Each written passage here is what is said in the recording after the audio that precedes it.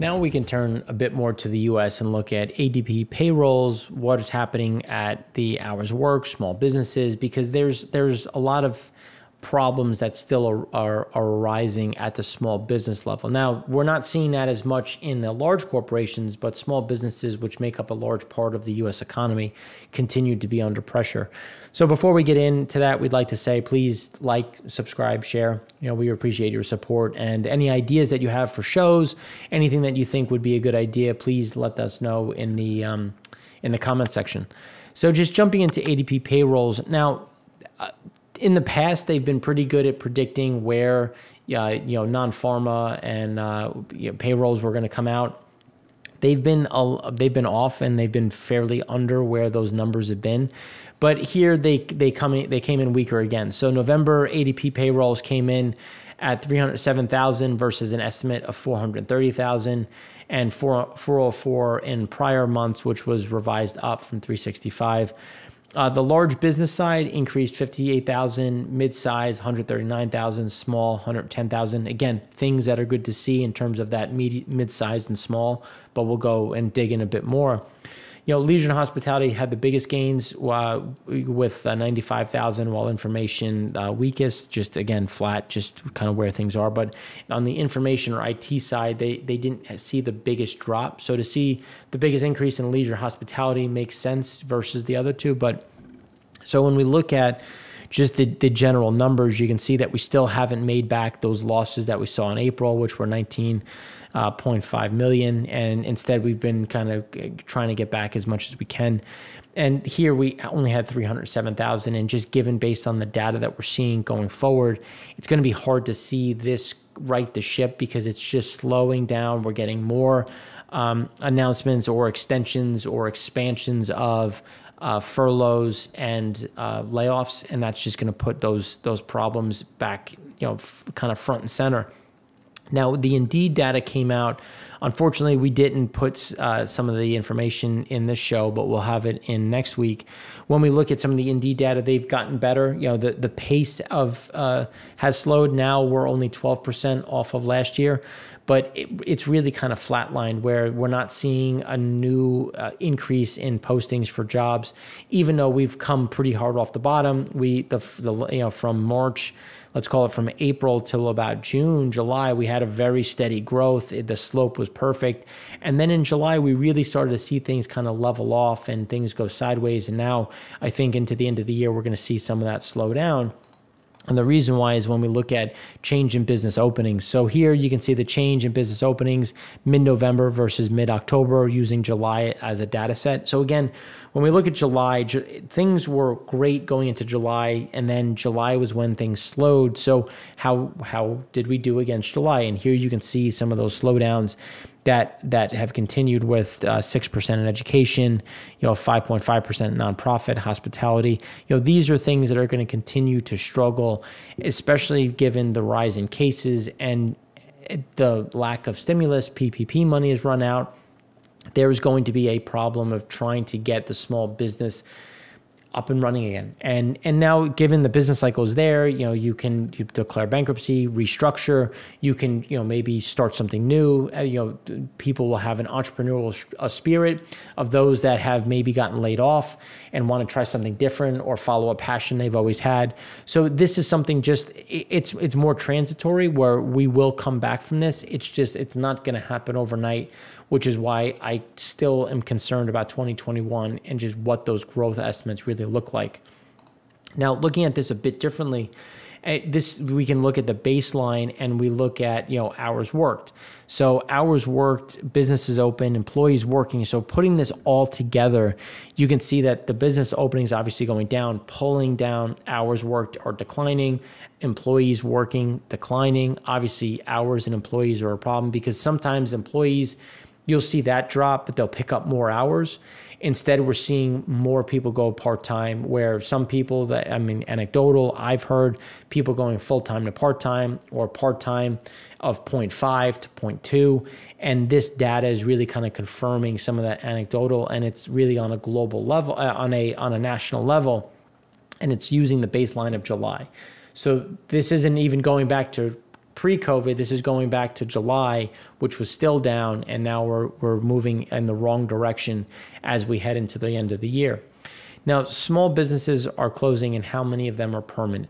So, home-based client firms open uh, percent change from Jan 2020. So this is looking at the January moves. And here you can see that the seven day moving average has moved down. Obviously, this includes Thanksgiving, so you have to you know excuse the fact that there's a drop. But look at the look at the the rollover. So as we go into the end of September, things start rolling over. They accelerate, and and they, we're starting to get lower highs, lower lows as we go into November, and then we get a steeper drop off. Now, we will get some of this back. We will get a bounce back. Obviously, people close for Thanksgiving. You know, this has 76.1% closed. I, you know, I, I've read that it was 70, you know, 78% of businesses closed uh, for Thanksgiving. So again, some of this will come back. It's just, it's not going to come back to the same level because people may say, look, I'm, I'm taking December off you know, let's just shut it down, especially on the hospitality side, restaurant side, you know, re- revisit in January. You know, these are things that are going to happen, which is going to keep this number well above, uh, well below where it was prior to Thanksgiving.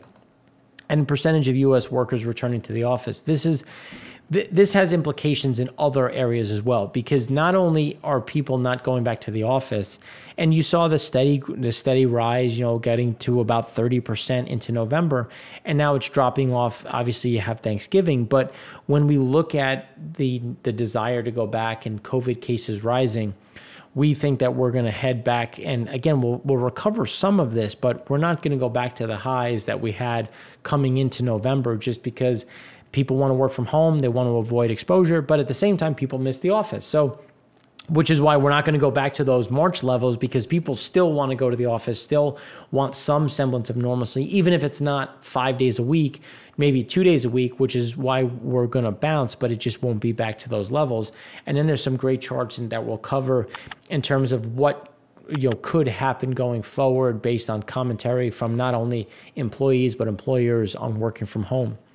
Now, activity, uh, you know, again, activity remains our, the crux of what we use to really talk about where's oil demand, where's GDP demand in here. It's rolling over, so I'm not gonna not gonna you know hit this one too hard again, just because we've talked about it so much.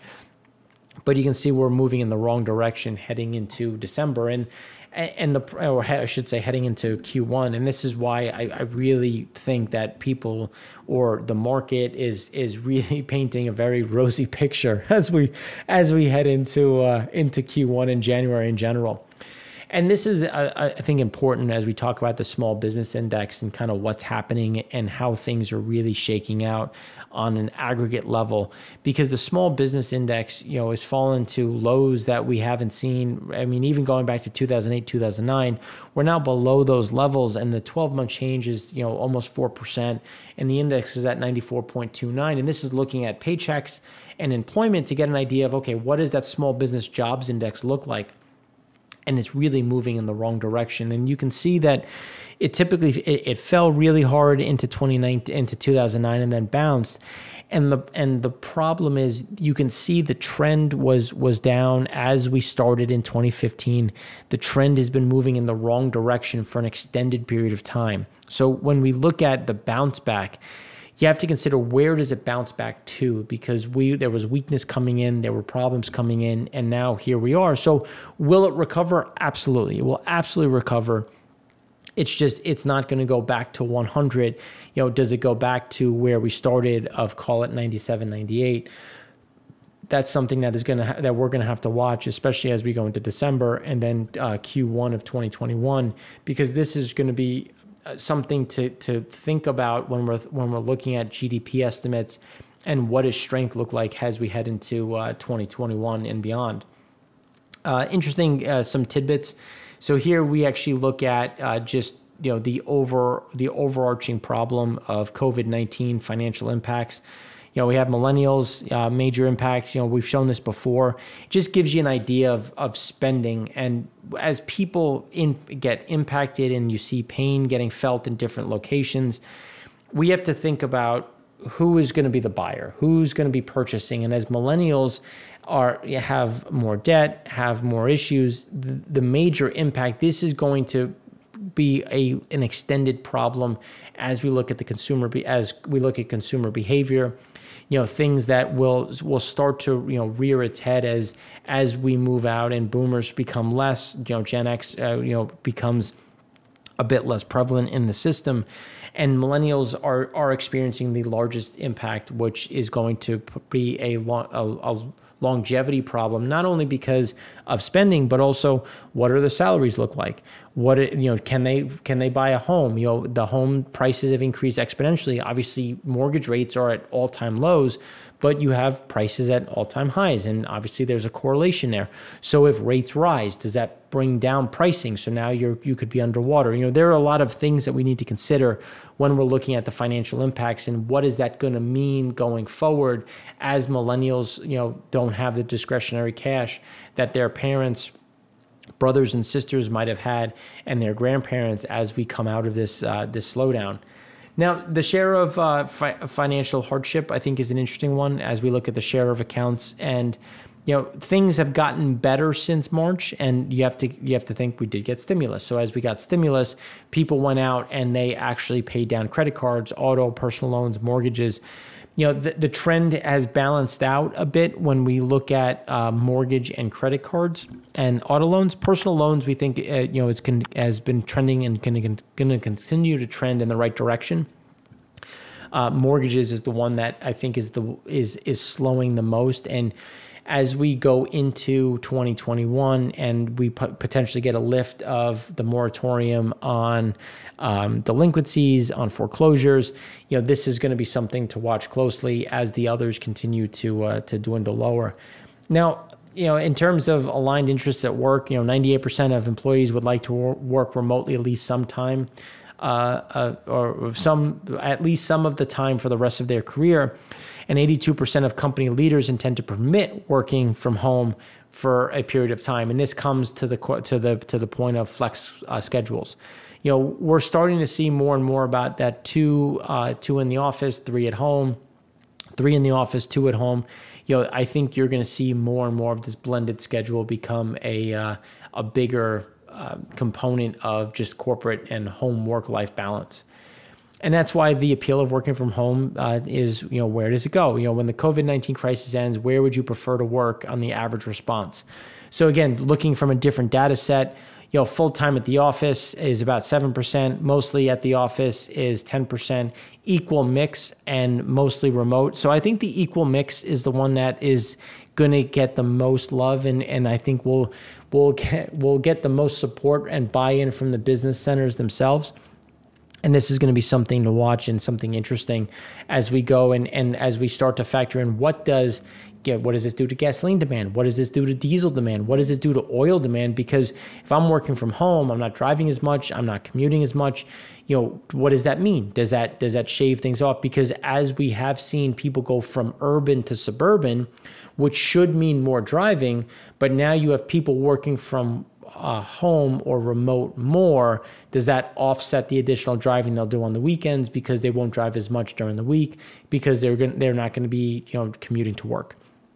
These are things that we're going to have to consider and talk about, and this is just kind of proving that point and showing and highlighting just migration from major urban areas. This is the shift away from the urban areas, Manhattan, Brooklyn, Chicago, San Fran. Yeah, and it's important to appreciate the movement from these areas is also tax revenue leaving you know, we've we've seen um, Hewlett Packard talk about leaving, uh, moving their headquarters from California to Texas.